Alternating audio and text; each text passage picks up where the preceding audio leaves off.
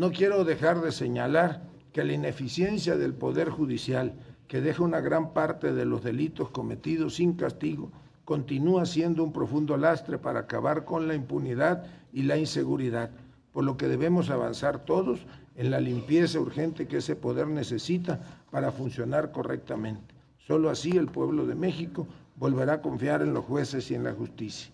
Sea pues el inicio con esta primera comparecencia de una retroalimentación que permita apuntalar las labores de seguridad no solo de la Fuerza Armada Permanente, sino de todas las instituciones de seguridad de las entidades federativas, quienes también deberán ser evaluadas, sobre todo en capacitación y equipamiento. Podemos tener diferencias que, además, son válidas, como lo hemos repetido en otras ocasiones, la tarea de las Fuerzas Armadas en materia de seguridad pública está desprovista de todo calificativo político, por lo que estamos ciertos de que este diálogo nos llevará a buen puerto y mejores resultados.